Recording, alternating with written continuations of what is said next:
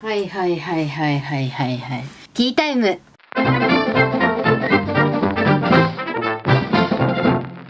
おはこんばんは。皆さんどうもミッキーです。ミッキーチャンネルへようこそはい、今日はですね、えー、初めてだね。じゃじゃーん工事コーナーでケーキを買ってきたので、本日はですね、食べながら雑談というものをやっていきたいと思います。甘いものは食べてなかったのよ。そう。私そこまで甘党じゃないっていうので、甘いものよりしょっぱいものの方が好きっていうことなのね。そっちタイプの人間だったの。ちょっとね、最近ね、ちょっと麹コーナーがめっちゃ美味しいと思って、お茶を用意したんでね。はい、これを入れます。いいですね。アップルルイボスかなはい。はい、ということで皆様、お疲れ様でした。乾杯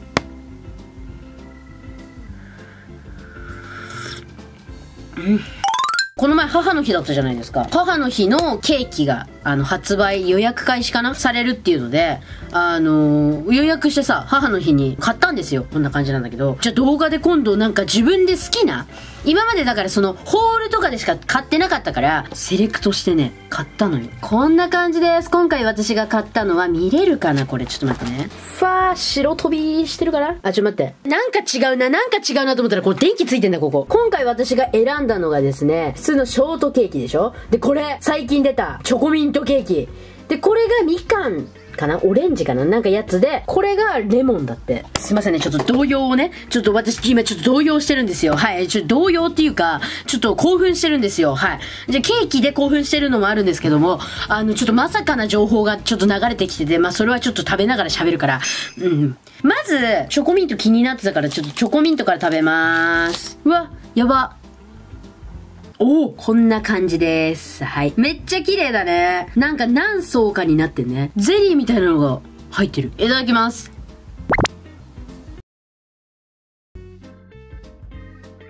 おいしい下がクッキーみたいになってて、ちょっと歯ごたえがある。うーん、うん、一個ずついかないで全部いった方が楽しいね。そうしよっかな。一人ケーキバイキングみたいなことやるね。ショートケーキこんな感じです。私そこまでイチゴ好きじゃないんで。だけどね、美味しいのよ。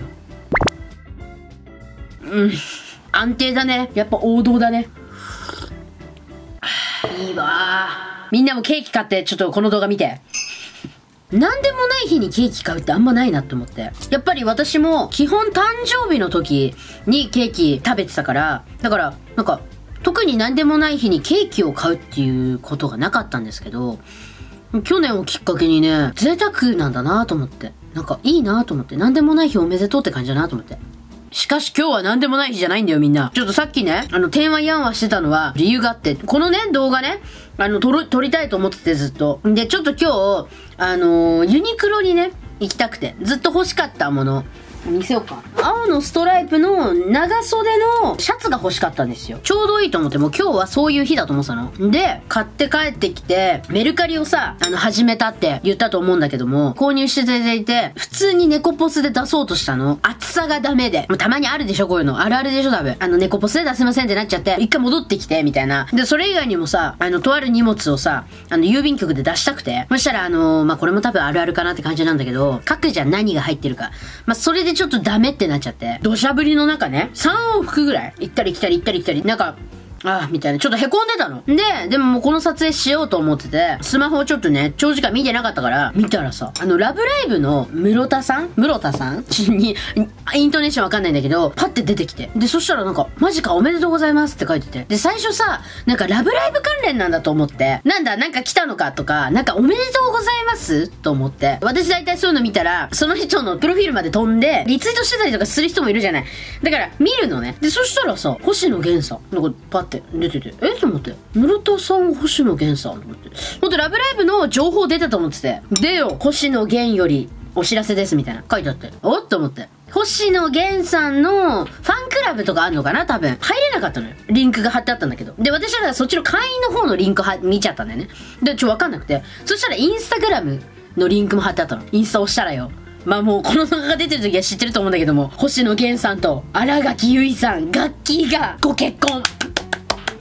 おめでとうございますっていうので、あのー、正直ね、私あの、あんまり動画で時事ネタ言わないようにしてんの。まあ、人によりを私はだよ。あくまでミッキーはいつでも、どの動画見ても時代が出るというか、時代背景が出るっていうのはあんま避けたいね。でもそれでも出てしまうものなんだけど、ただちょっとこれに関してちょ、ちょ、ちょっと抑えきれなかった。話の途中ですが、こちらも行かせていただきたいと思います。これは、オレンジなんとかみたいな。オレンジショートケーキみたいなやつ。はい、こんな感じで。うわ、めっちゃ綺麗だね。やばいね。果実がすごいちゃんと乗ってて。うわ、すごみかん味のゼリーが中に入ってるんだけど、すんごいこれ。香り。みかん苦手な人は絶対食べれないと思う。そのついでにもういっちゃおっか。これね、ちょっと気になってるの。これはね、なんか瀬戸内レモンみたいな。柑橘系めっちゃ好きな人みたいなという、まあ柑橘系好きなんですけど、実際。はい、こんな感じでございます。私ね、レモンケーキとか、レモンタルト大好きなの。こんな感じ。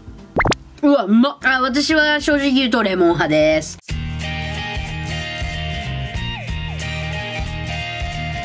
星野源さん好きで、で、まあ、好きって言っても、そんなファンクラブ入ってるとか、そういうライブ毎回行ってますとか、そういうことではなくて、かっこいいなって思ってたんだけども、なんか、ある時、急にで、大江これ勝手に 勝手にですからね、逃げ恥スペシャルがやるよって言われる前ぐらいだから、去年の末か、ぐらいに、あ、なんか星野源さん結婚しそうって思ってたの、私。で、家族とかには言ってたの。なんかちょっと結婚しそうなんだよね、みたいな。いや、そういう話するじゃん、そういう話するじゃん。多分そのぐらいに、こう、逃げ恥スペシャルやるみたいな情報とか出てきて、で、なんかあの、うちのお母さんとかと、え、これでガッキーと結婚したらやばいよねみたいな。え、めっちゃ燃えないみたいな。なんかそういう話をしてたんですよ。勝手にですよ。そう、してたらさ、本当に結婚しちゃったよっていうのね、もう本当に、私、基本的に結婚しましたみたいなの見ても、えー、おめでとうございます、みたいな。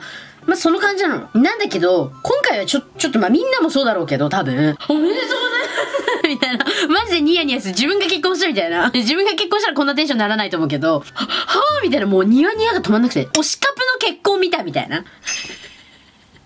っていうのでさ、なんかちょっとついてないなと思ってて。時にこう、そういう情報。あんま結婚の報告聞いてこう、テンション上がるみたいな。あんまないと思うんだけど、ツイッターで、あの、そんな気がしてたって言ったんですけど、そんな気っていうところに関しては、その、勝手にそうだったらいいなっていうことを思ってて、そしたらそうだったから、そんな気がしてたってつぶやきました。私もご報告っていう時来るのかね？いや、わかんない、わかんないじゃん。わかんないじゃん。同級生だよね。お母さんになってる同級生いたりとかするからね。ないことはないんですよ。小鳥とかとさ、ラジオとかではよくね、そういうね、こう、お便りとかでも結婚とか、恋愛とかさ、やっぱいただくから、そういう話結構するんですけど、いつか私もご報告っていう時来るのかなとか考えるね。文章を出すのかね。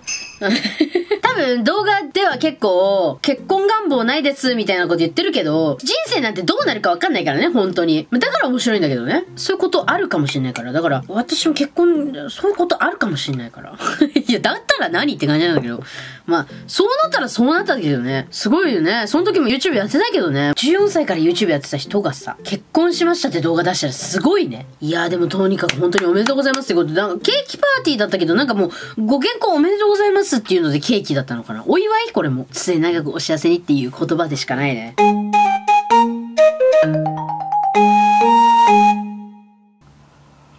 ごちそうさまでした。大体みんなこんくらいの量残ってるんで、4つ全部。あの、これは後で、あの、食べます。いや、美味しかった。こんなにケーキいろんな味食べることないからね、新鮮で楽しかったね。ということで、最後まで見てくれてありがとう。それでは次のミッキーチャンネルでお会いしましょう。バイバイビーいいティータイムでした。